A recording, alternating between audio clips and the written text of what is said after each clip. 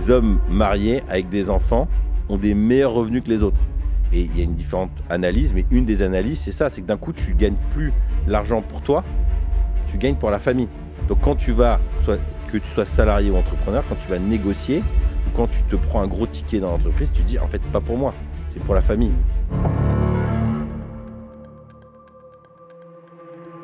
Euh, en quoi le fait d'avoir des enfants jeunes t'ont boosté dans ton entrepreneuriat? Ou, ou au Ou contraire, c'est peut-être une difficulté Ouais. En fait, entreprendre, c'était une évidence. Ouais, Et avoir des gosses, c'était une évidence. ok. Donc en fait, Il n'y avait pas le choix. non. En fait, j'ai.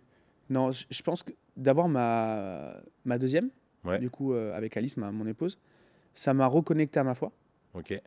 Euh, non, ça m'a connecté à ma foi plutôt. En Ouais. fait, ça m'a reconnecté à mon éducation plutôt. Ok. Euh, mais sinon, quand j'ai eu le premier, Titouan, j'ai pas eu, euh, j'ai pas eu ce déclic. Pour moi, c'était une évidence. Ok. Et euh, pourtant, j'étais très jeune, hein, 24 ans et un, enfin, et un mois. Donc, euh, Mhm. et, mais j'ai pas eu ce, ce truc où en mode il faut que je le fasse bouffer, ou alors c'est le plus bourgeon de ma vie, ou je sais pas. Tous ces mots-là qui sont des Mhm. super mots, moi je les ai pas eu. Ok. J'ai juste eu, je dis ok, bah c'est on est ensemble quoi, ça y est, c'est Ok. euh, c'est évident, t'es enfin là quoi. Donc ça t'a pas, ça t'a pas mis un coup de pression encore plus déjà que tu disais que tu avais une tension. Là, ça n'a pas Non. augmenté. Non. Non du tout.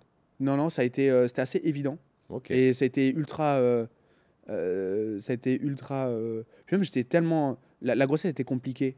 En gros, la maman de Titon, elle était enceinte pendant presque un an parce qu'en final, elle a fait des fausses couches, des machins, Ah des trucs. Et donc, euh, c'est un bébé qui a vraiment été attendu. Ah ouais. Et donc, à ce moment-là, c'était il y a que ça qui comptait, quoi. C'est la, la Mm. santé, instant présent et tout. D'ailleurs, c'est ça que je trouve génial avec le fait d'avoir des gosses, c'est Mm. que c'est vraiment ça connecte à l'instant présent. Moi, ça Mm. me crée pas d'angoisse supplémentaire. Ce qui est un peu paradoxal avec ma façon de fonctionner d'habitude. Et peut-être que toi, étant, ayant, comment dire, avec tes parents, de ce que tu me racontais, euh, ils ont eu leur galère, mais toi, ça s'est toujours bien passé. Ouais, parce que moi, je les ai jamais ressentis. Ouais. Donc, jamais du coup, ressenti tu- le- du, coup, truc. du coup, toi, tu n'as pas stressé en tant qu'enfant dans ce rôle d'enfant. Peut-être que tu, tu t'es apaisé là-dessus. Ouais, peut-être. Mais j'ai pas eu, ça n'a pas été le moteur, ça n'a pas été l'angoisse.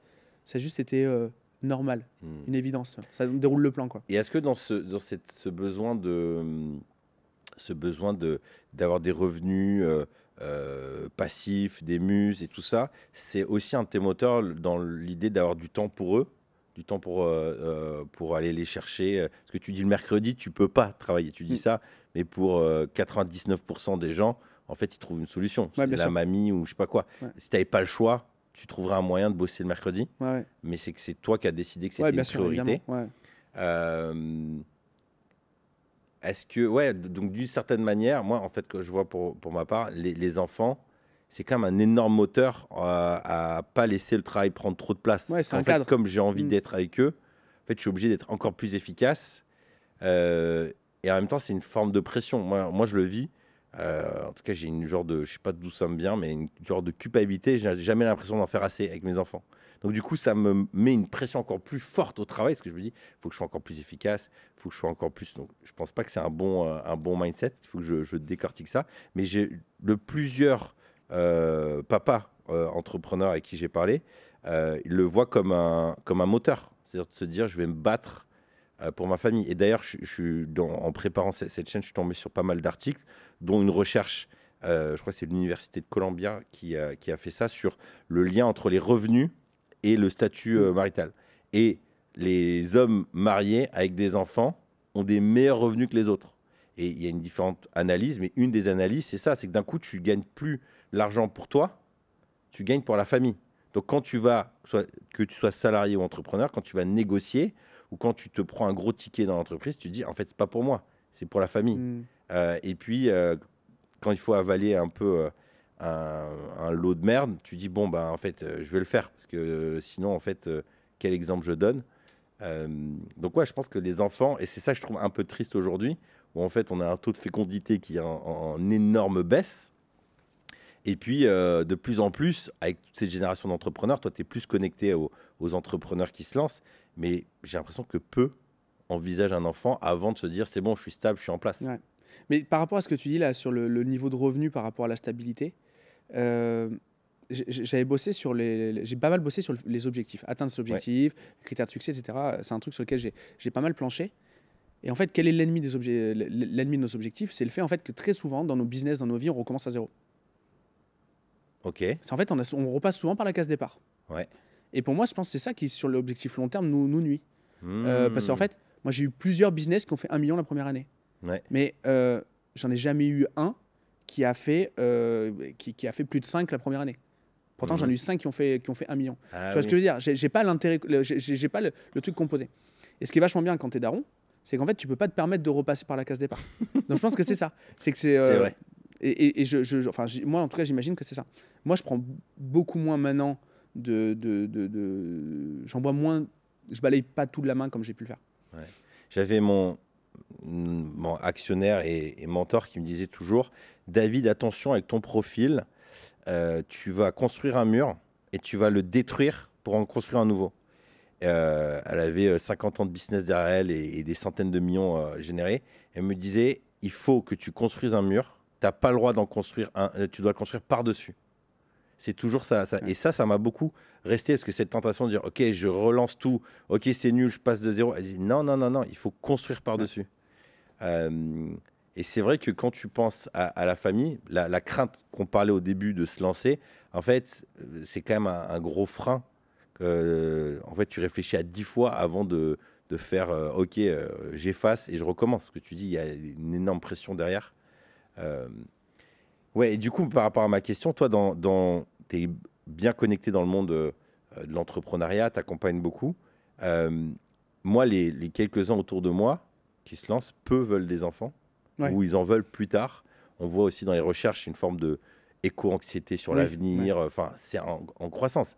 Et tu as l'impression de te dire, euh, il n'y aura plus de gamins. Quoi. Les seuls qui vont faire des gamins, ça va être quoi? Ça va être catholiques, les musulmans, les juifs, donc les religieux, puis peut-être euh, d'autres.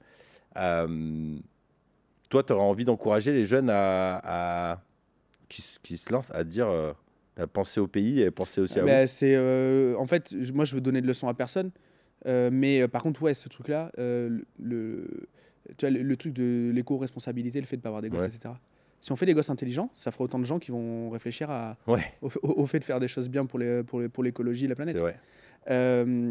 En fait, ouais, on a on a un vrai sujet, on a un vrai sujet de société, le fait, de- Ah ouais. le fait de pas faire des gosses.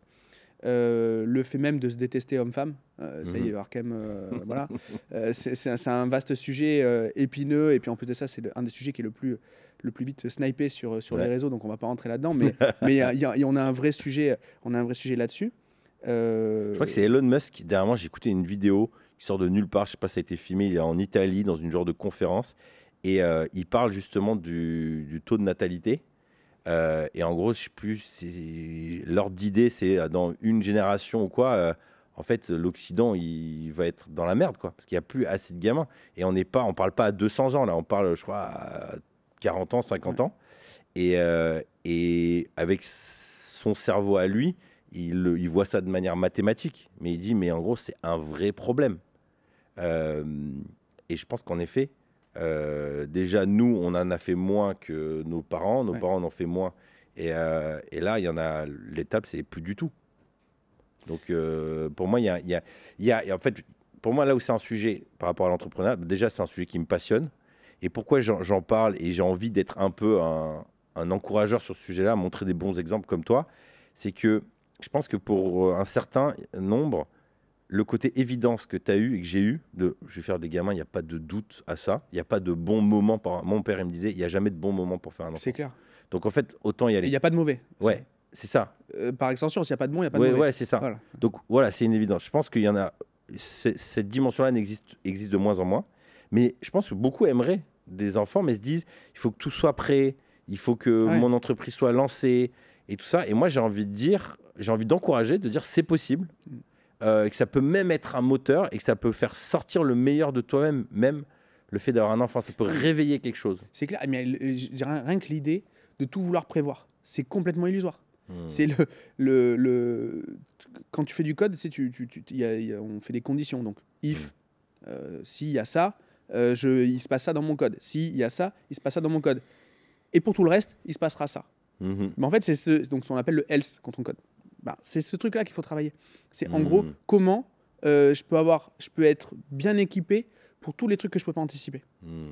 Et donc, euh, comment je peux être sécure? Donc, euh, bah, avoir une bonne santé mentale, une bonne santé physique, essayer d'être le plus heureux le plus longtemps possible, le plus souvent possible. Et puis après, c'est tout. Après, Ouais. capter les signaux. Dans tous les cas, c'est impossible de tout prévoir. C'est Mhm. comme les gens qui mettent trop de temps à lancer leur projet sur le marché.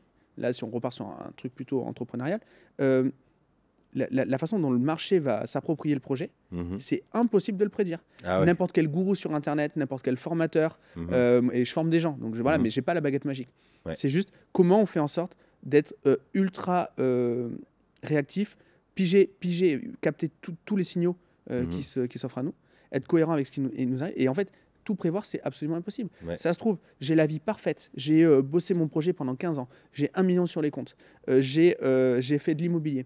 J'ai une boîte de dingue qui est hyper bien déléguée. J'ai une nana qui est absolument incroyable. Euh, j'ai une santé de fou. Et je décide de faire un gosse. Bim, cancer de je sais pas quoi. Bah oui. Enfin voilà, je, je dis un truc qui est, qui est grotesque, mais en fait ça, ça arrive en fait. Mm. Ça, ça arrive. Et donc. C'est pour ça que ça, c'est un truc classique qu'on dit en dev perso, mais moi, j'y crois beaucoup. Et c'est la seule chose qu'on peut pas t'enlever, c'est l'intérieur, à moins d'être flingué du cerveau et, de devenir un, légume. Mais le, ton, être intérieur, tout ce que tu as appris, ta formation personnelle, ça, tu peux perdre euh, beaucoup de choses. Ça, ça te restera. Et, euh, je pense que dans l'entrepreneuriat, il y a une dimension euh, de formation de soi-même. En fait, quand tu te lances dans l'entrepreneuriat, tu apprends tellement de choses.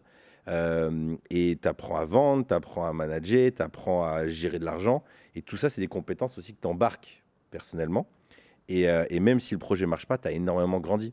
Et moi, quand je, regarde les, moi, les 15 dernières années, ça va faire bientôt, ouais, cette année, ça fera 15 ans qu'on est marié avec euh, Hélène, on a énormément investi d'argent dans notre formation. Et euh, tu vois, on, était on est propriétaire depuis un an. Donc, en gros, tout l'argent que j'aurais pu mettre dans l'immobilier, je l'ai mis dans des, euh, du coaching, de la thérapie, des masterminds, des ci, des ça. Mais parce que je me suis toujours dit, ça, c'est le seul truc. Si mon business, il part, si euh, Ouais. il y a- je perds de l'argent, je me fais pirater. Euh, j'ai dernièrement un ami qui s'est fait pirater, il a perdu beaucoup d'argent, tu vois. Euh, donc, l'argent, il peut partir comme ça.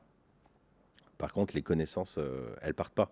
J'avais un, un- un client qui me disait, je crois que c'est le premier que j'ai rencontré qui était multimillionnaire. Et dans leur parcours, ils avaient perdu, je crois, trois fois leur million. Et il disait, par contre, on sait comment faire. Et ça, cette compétence, elle est, elle est, elle vaut de l'or, quoi. Moi, j'ai eu besoin de me le, de me le reprouver euh, l'an dernier. Ok. Euh, du coup, euh, j'ai j'ai un peu, enfin, j'ai j'ai environ 30 collaborateurs. Et, j'ai une boîte bien structurée, etc. Ça, ça roule. Ouais. Et en fait, j'avais l'angoisse de ne pas pouvoir refaire un truc aussi bien. Ok. Et du coup, je me suis monté mon solo business à l'intérieur de ma boîte. Ah ouais. Alors, évidemment, avec toujours le même niveau de revenu, Mhm. euh, etc. Mais moi, mon niveau de revenu, il n'a pas changé depuis beaucoup de temps. Ok. Euh, ça fait très longtemps qu'il qu'il est, qu'il est le même. Euh, et donc, ça, dans tous les cas, c'est une constante. Mais j'ai relancé un business pour me prouver que j'étais capable de le faire à Ok. ce moment-là. Et c'était quoi comme business? C'était le mastermind. D'accord. Le fait de dire, OK, on a l'incubateur qui aide les gens à, à se lancer. Ouais. On accompagne des gens, on accompagne beaucoup de gens à se lancer, à, à aller euh, go to market, cette Mhm. phase-là qui, est- qui est une phase cruciale. Et, euh, et puis, euh, je vais lancer une extension de ça. C'est les entrepreneurs qui ont déjà réussi, qui ont besoin Mhm. d'aller plus loin. Ouais. En fait, euh, ben, je vais les accompagner, je vais lancer un autre truc. Et en fait, le grand écart entre ces deux produits il est tellement grand Mhm. parce qu'en fait, réellement, il va se passer 5 ans entre les gens qui sont dans l'incubateur, Ouais. qui vont avoir du succès et qui seront éligibles au mastermind. Donc, clairement, Même 5 ans, c'est rapide. ouais, 5 ans, c'est vraiment si ça va vite.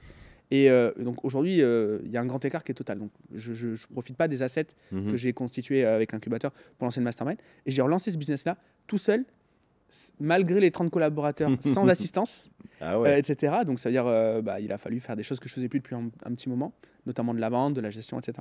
Et, euh, et ça a fonctionné. Donc, Trop euh, bien. et donc ça, ça, bah, ça, ça a calmé une angoisse de justement et si tout s'arrête? Wow. Euh, donc, euh, donc voilà, mais co- comme tu disais, le savoir c'est hyper important. Et, et même, il faut capitaliser sur les erreurs. Euh, Mhm. je me suis planté, euh, euh, je me suis planté euh, deux ou trois fois sur faire, euh, sur des projets entrepreneuriaux. Bah, en fait, c'est une super chance pour la suite, quoi. Ah ouais, ouais. C'est, euh, Surtout que ouais, quand on n'est pas très scolaire, on apprend beaucoup plus de nos erreurs en fin de compte que d'un livre. ouais. Il y a une phrase que je pense que je vais citer à chaque, euh, chaque un- interview, c'est euh, l'homme stupide fait une erreur et la reproduit, l'homme intelligent fait une erreur et ajuste, et l'homme sage apprend de l'erreur de l'autre. Donc, on a tous envie d'apprendre des erreurs de, l'autre. Moi, je pense que je suis plutôt dans la catégorie, en tout cas dans certains domaines intelligents, j'apprends de mes erreurs. J'essaye d'apprendre des, erreurs des autres. Mais euh, en effet, euh, les erreurs, c'est là où, En fait, surtout, en plus, quand ça t'a coûté cher, émotionnellement ou financièrement, il y a comme une, tu vois, genre une emprise en toi mm. qui fait que tu peux pas, tu peux pas, tu peux pas l'oublier, quoi.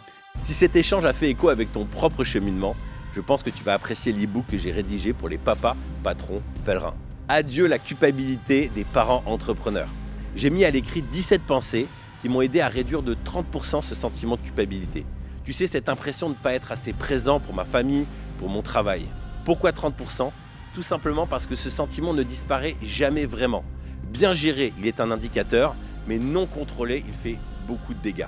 Cela fait des années que je travaille sur ce sujet, car la culpabilité est très présente en moi, et c'est un sentiment qui se transmet de génération en génération.